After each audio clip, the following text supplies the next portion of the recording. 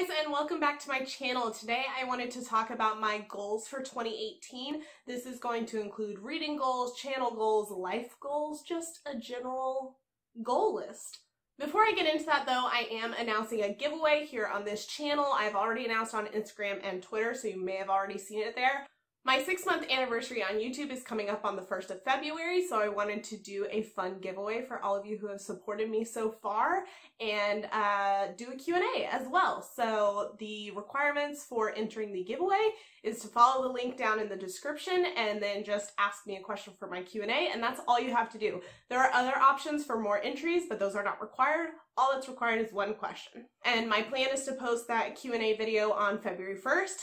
Hopefully goes up around then. I do work a full-time job and have another YouTube channel, so sometimes my upload days get a little off, but that's the plan.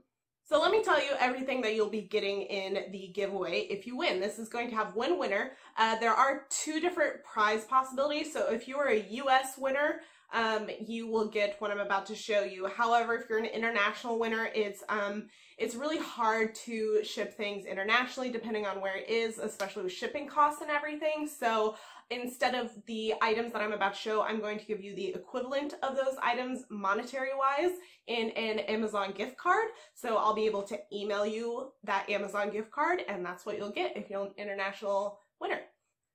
I wanted to give away some things that represent uh, stuff that I love and also stuff that relates to this channel and its content. So this is full of bookish and beauty related content. The first thing in the giveaway list is a Darker Shade of Magic by V.E. Schwab. If you've been around the channel for a minute, you know that I love this author and I love this series, so I really want to share the love with you guys and have you enjoy it. Next up is a comic book that I love and also that I have talked about a lot on this channel and that is Saga Volume 1. This is the only one I've read so far. I have my own copy. I bought a new copy to give away and um, I really am looking forward to reading the rest of the series so I hope one of you, whoever wins, will enjoy this. For my last bookish prize, I got a couple of bookmarks off of Amazon. This is one that says I read past my bedtime. It's got a cute little tassel on it and it has a little fox reading a book and it also has a ruler on the back, so that's kind of cool.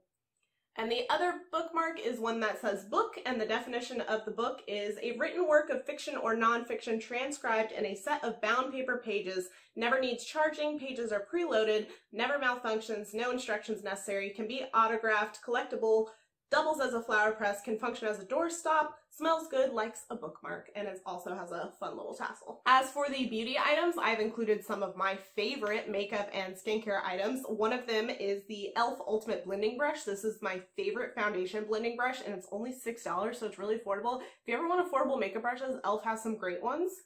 And then I've also got a blush here from Physicians Formula. I got one of these blushes in like a gift bag at a fashion style con thing that I went to back in like September and I love this blush. I use it all the time. I got a slightly different color for you guys, but I just love the formula. This is the Butter Blush in the color Natural Glow. So it's this nice like peachy but like really neutral shade. I think it'll look really beautiful on most skin tones, if not all. I'm not 100% sure, but it looks like a good one. And the last item I have is a skincare item or multiple skincare items. I got these as a gift for Christmas, so I went and bought a whole nother set for you guys because I thought they were so cool and they're really affordable too. Um, this is a bunch of Korean face masks. There are 16 total here. There's a whole bunch of ones. There's like ones with the whole snail stuff in it, which is supposed to be really good for you. Um, there's some cucumber ones, some aloe ones, charcoal, it's a whole bunch and I've used probably about half the ones I got for Christmas, maybe a little less than half, and I loved every single one of them. They're really awesome. So I hope whoever gets this enjoys them as well. Now let's talk about my goals for 2018. The first thing I'm going to start with is my reading goals. I know that a lot of you who follow me are interested in reading and it's also some huge goals of mine for this year. My total reading goal for the year is 50 books. That may not sound like a lot for you guys. As I mentioned before, I have a full-time job. I have another YouTube channel. I have a husband. I have a cat. I have friends. And that doesn't excuse or say you can't read more than that, but just for me, that's a really realistic goal. Also, what I've been doing ever since I started Goodreads three years ago is that whatever I read in the last year, I up the next year's goal by one. So in 2017, I read 49 books. You can check out my end of year reading stats for that. I'll link it up here for you. So because I read 49 last year, I plan on reading 50 this year. Um, I thought about upping it to 60, which makes it an even five books a month, but I really want to keep with my realistic goal of just upping it by one every year or more than that. So if I end up reading 55 books this year, next year's will be 56, so on and so forth. I also have a very specific approach to my TBRs for each month this year. This may change as the year goes on, but this is my current plan. Uh, I talked about this a little bit in my January TBR, but I wanted to talk about it a little bit more here. So my first priority for reading in a month is that anything that's coming out as a movie or TV show adaptation in the next month, so we're in January, if it's coming out in February, I want to read the book version of it in January. And that's, of course, only ones that I'm interested in. I'm not going to read every adaptation book that's out there for everything that's coming out because there are so many this year. My next goal has been something that I started when I started my YouTube channel, and this is a huge clean out project of my TBR list on Goodreads. I was inspired by Books and Lala here on YouTube with her closet clean out. I just do mine a little bit differently. So, um, if you're not familiar with this or you haven't seen any of my other videos about it, my TBR list on Goodreads got a little out of control, so I scaled it back down. I can only keep 350 books on my TBR at a time. Um, that also includes like series. I only keep whatever next book in the series I'm reading on my TBR. So if I'm reading a series, I don't put like all seven books from it on there. If I'm on book two, I put book three as my want to read next. So every month at the beginning of the month, whatever amount of books I have over 350, I select a few to take off to get down to 350, and then I start my month of reading from there. But the TBR clean out, since I started Goodreads, I believe it was August of 20, was it 13? I think it's 2013. No, 2014. August of 2014. So what I started this past August when I started this YouTube channel is anything that was on my TBR that was added to my TBR on Goodreads during August of 2013, I had to read by the end of August 2017. And um, I've just been doing that month to month going forward. Um, something I also uh, took from Books and Lala's video is this concept of saves during your clean out. Um, for me, I did a little bit differently. I think she allowed one book per save, but I'm doing two books per month as a save. So one standalone novel and one series. So that way I can save a couple. That's just how I decided to do it. And then anything besides what I already read that month or what uh, I'm saving gets taken off my TBR. That doesn't mean they're not allowed to come back on at some point later if somebody else recommends them or whatever else they find their way back on that's fine. But a lot of times I end up taking them off and then never adding them back on, so it helps me keep my TBR down. Because if I haven't read it in three years, I'm probably not going to get to it anytime soon. And if I wasn't motivated enough to read it in that month period, I'm probably just not going to get to it. So that's my logic behind that. After adaptations and my TBR cleanout books, my next goal is to read at least one owned book a month. As I mentioned in my January TBR, I do not own books like a lot of booktubers do or book bloggers, and not everybody buys them like a lot of the big people do, but um, I heavily rely on my library, and so I live in a decently small apartment, so I don't have a ton of shelf space or anything like that also cash. So uh, libraries are where it's at, but I do have quite a few owned books that are unread on my shelves. So I want to kind of start going through those a little bit more so they're not just stacking up forever and ever. So at least one owned book a month is the goal if I have room for it after my first two goals. Then after that, I also want to read one comic a month, preferably more, but at least one. I've been trying to get into comic books more lately, so I have quite a few, especially like first volumes that I want to get through. And then after all of those goals, if I still have room in my reading for the month, I want to continue whatever series I am currently reading with my TBR cleanout project. I have started a lot more series than I typically like to have open at once. Before doing this project, I like to keep no more than like two at a time, so I wasn't allowed to start a new series until I closed out one of those two that was my logic beforehand. Now I just have a whole lot, so I want to kind of cut down on those and get through those more. As this is a book and beauty channel, I do have a few like makeup related goals. They're not as specific as my book goals. Something I want to do more this year is just experiment with makeup a little bit more, especially color. I got this really cool Christmas gift from my husband. That's a BH Cosmetics makeup palette, and it's got a ton of, or eyeshadow palette. It's got a ton of different fun colored eyeshadows, and there's actually like two levels to it. So I want to play with color a lot more.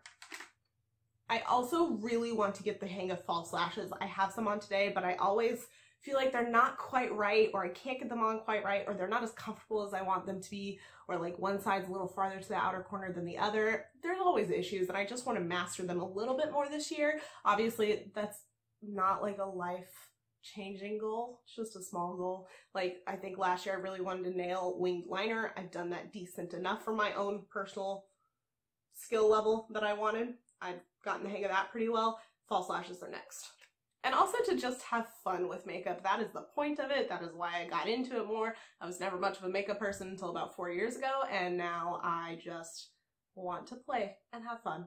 I, of course, have some YouTube goals. My I don't want to say primary channel because I think both of my YouTube channels are primary, but my one that I started first, if you're unfamiliar, is when I started with my husband back in I think May of 2017.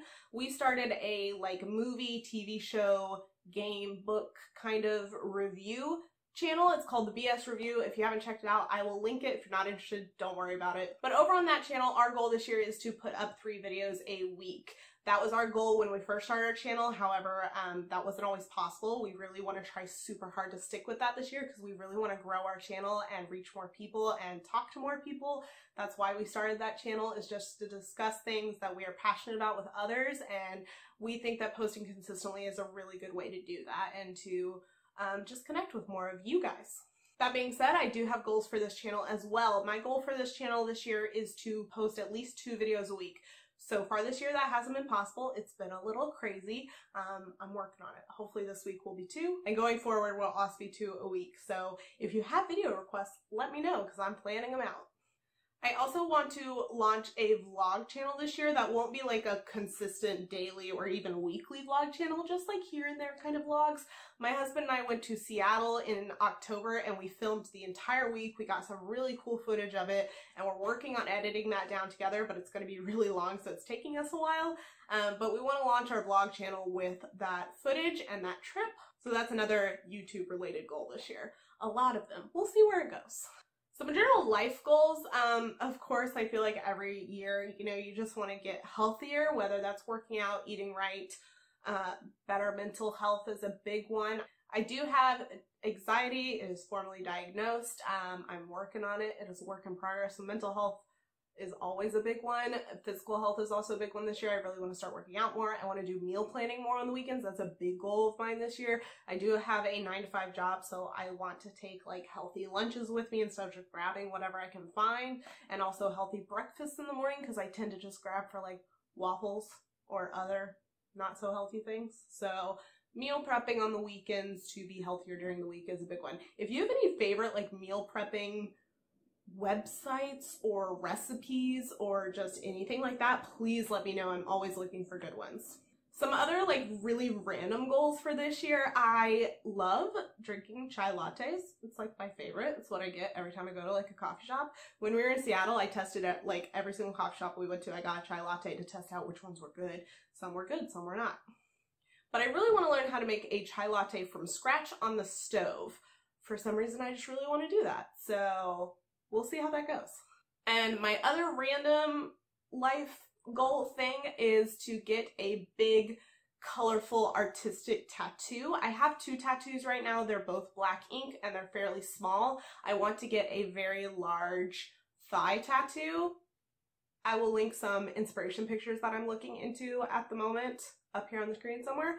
Or not link, I'll, I'll insert pictures. But um, yeah, that's something I really want to do. I want to save up. I want to find a really good artist in my area. My goal is to have a tattoo for like every major city that I've lived in um, post moving out of my parents' house. So far, I um, have one for the college town I went to college in, and I have one from a city that is in my area that I haven't lived in, but it was a matching tattoo with my sister. I got to pick the side of the tattoo I wanted, so I let her pick the place, you know.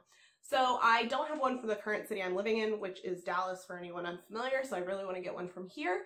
And so that's a big goal this year. I really want to save up for one and get one, um, work really closely with a tattoo artist, get something custom designed, of course.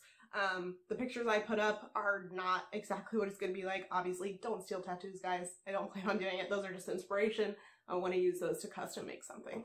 That pretty much wraps up all of my current goals of the year. I'm sure things will change as the year goes on as it tends to do. Um, but yeah, that, that's the plan so far. So um, I hope that you guys have a great 2018. I hope that you meet all of your goals or change them to be more reachable as the year goes on. Life happens, things change, don't beat yourself up about it. Let me know what your goals for 2018 are. I would love to know. I would love to share and keep each other accountable through the year or just motivate each other. I'm pretty active on Twitter, so if you want to follow me there, we can chat, we can help each other out. It'll be great. And again, if you want to enter the giveaway that I have going on for my six month celebration of YouTube, I will have the link down below. You can win all those things I mentioned earlier. I really hope to see you guys enter. I'm interested to see all of your questions. If you like this video and want to see more like goal or general life videos, let me know or leave a like down below. That'll let me know as well if you don't want to leave a comment. And if you want to see more content from me or see my updates of these goals throughout the years, hit subscribe. I would love to have you join my little bookish beauty family. And uh, I will see you guys in my next video. Bye.